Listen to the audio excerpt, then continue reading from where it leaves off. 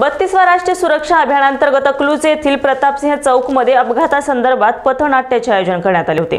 अत्यंत प्रभावशाली अभियानाद्वारे करण्यात आलेल्या पथनाट्याने रस्त्यावरून जाणाऱ्या प्रवाशांची मने हेलवली होती. सार्वजनिक बांधकाम विभाग व पोलीस प्रशासन यांच्या संयुक्त विद्यमाने आयोजित सडक सुरक्षेविषयी पथनाट्याचे लेखन आणि दिग्दर्शन आशुतोष नाटकर यांनी केले. येथील कलाकार हे सोलापूर औद्योगिक प्रशिक्षण संस्थेतील विद्यार्थी आहेत. यावेळी बोलताना नाटकर म्हणाले तेहतीस टक्के अपघात हे वाहन चालवताना मोबाईलचा वापर केल्याने होत आहेत. ट्रिपल सीट अवैध प्रवासी वाहतूक यांच्यामुळे होणाऱ्या अपघाताविषयी जनजागृती करण्यासाठी या पथनाट्याचे आयोजन करण्यात आले होते.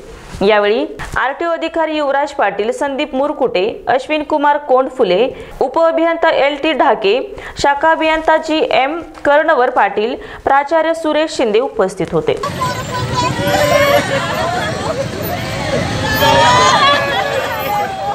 Sayuri!